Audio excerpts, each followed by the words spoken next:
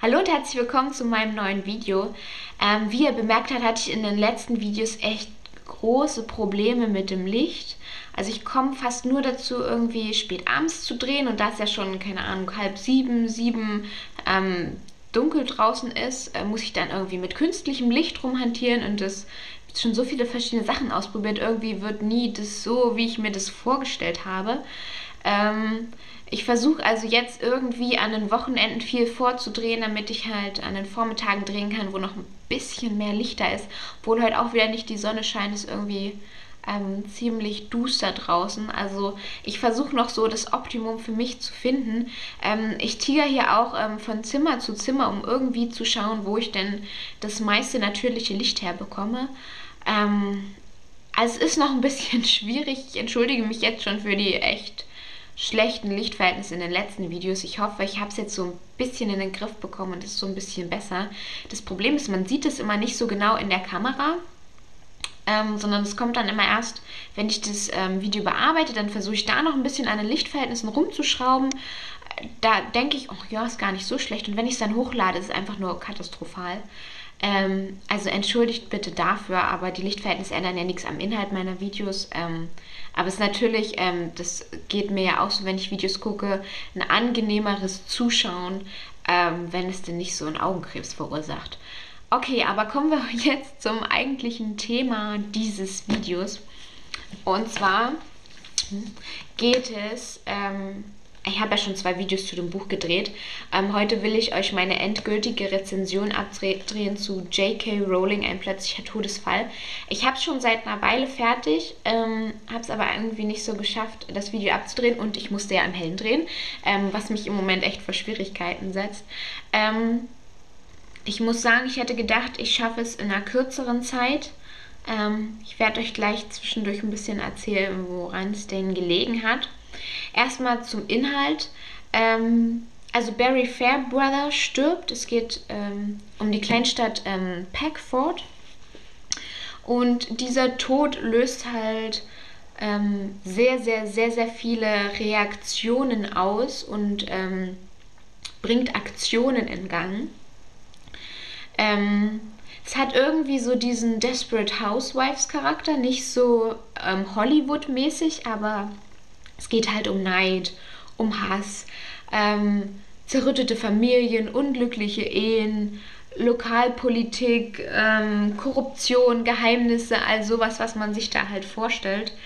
Ähm, es sind sehr, sehr viele Geschichten und viele Personen, also ähm, viele Familien, die da ähm, Erwähnung in dem Buch finden.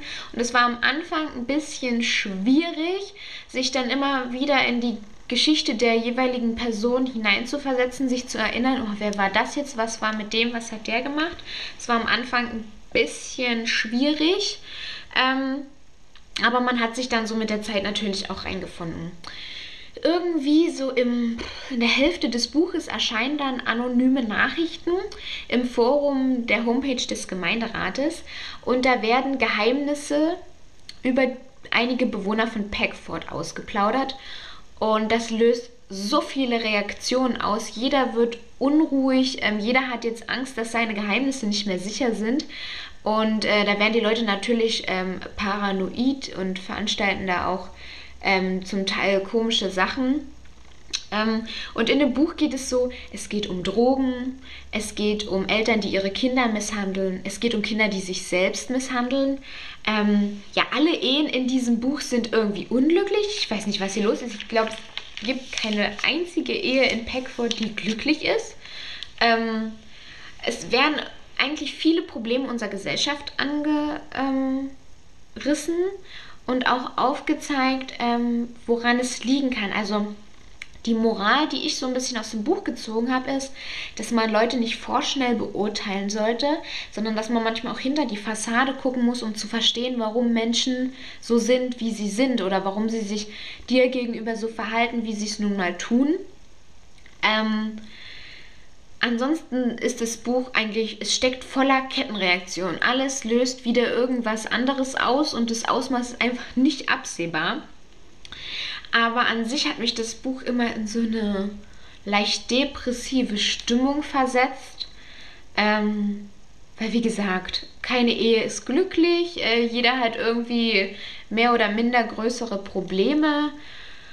Sowas mag ich ja eigentlich nicht. Ich lese ja ähm, zur Belustigung, zur Erheiterung. Ähm, ich lese ja auch keine Dramen eigentlich.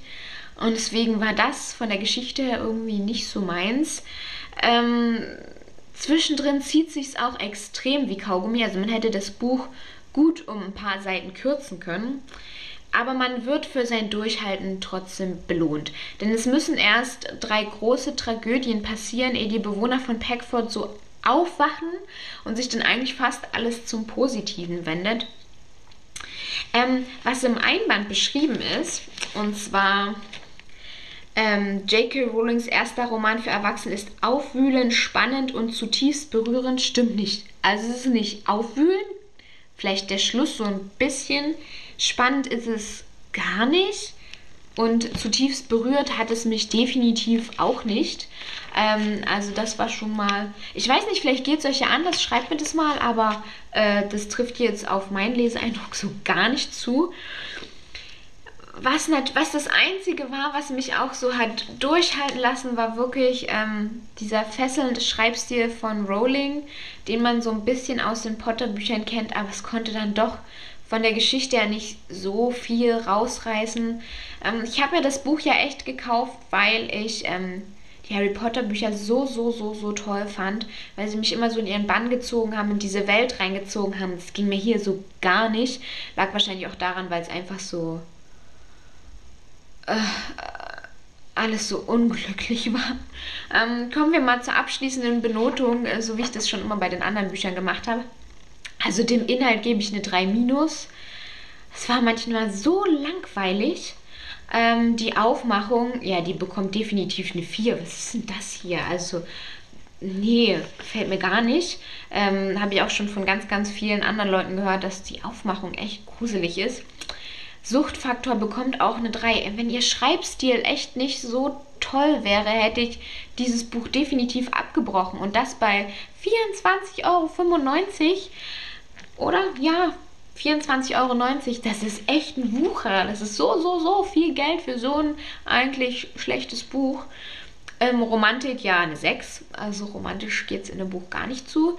Ähm, Glaubwürdigkeit, Glaubwürdigkeit, ja, eine 2. Ich kann mir schon vorstellen, dass viele der Probleme, die ähm, hier beschrieben werden, es natürlich auch bei uns in der heutigen Zeit sehr, sehr, sehr, sehr viel gibt, dass es so gebündelt jetzt auf eine kleine Stadt ist, dass da alle Menschen dieser Stadt unglücklich sind. Ja gut, das ist jetzt so ein Ding, das glaube ich eher nicht.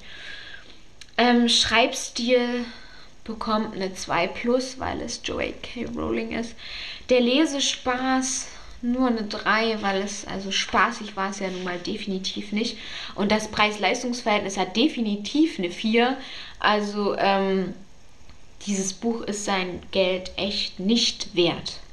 Ähm, ich hätte gern äh, irgendwie ein positiveres Feedback geben können. Ich habe mich echt so, so, so auf dieses Buch gefreut, aber es hat mich wahnsinnig enttäuscht. Wenn sie jetzt nochmal einen Roman für Erwachsene veröffentlichen sollte, ich glaube, ich würde ihn mir trotzdem wieder kaufen, weil die Hoffnung stirbt ja zuletzt. Ähm, ich weiß nicht, vielleicht gibt es Menschen da draußen, die sowas gern lesen, denen das Buch unheimlich gut gefallen hat. Ähm, aber mir hat es einfach nicht gefallen. Und es ist so, so schade. Ich habe mich so drauf gefreut. Es hätte so ein Knaller werden können. Ähm, schreibt mir doch mal in den Kommentaren, wie ihr das Buch so gefunden habt. Ähm, die überwiegende Meinung ist ja auch eher negativ, was ich so bisher unter den anderen Videos gelesen habe. Aber mich würde mal interessieren, wie ihr es so gefunden habt. Würdet ihr euch nochmal ein Buch kaufen, falls sie nochmal eins veröffentlicht? Das würde mich auch sehr, sehr interessieren. Okay, ansonsten hoffe ich, dass euch ähm, dieses Video gefallen hat. Und das war es dann auch mit den vielen Videos zu diesem Buch. Also ich werde nicht nochmal eins machen. Und dann sehen wir uns ganz bald wieder bei meinem nächsten Video. Bis dahin, tschüss!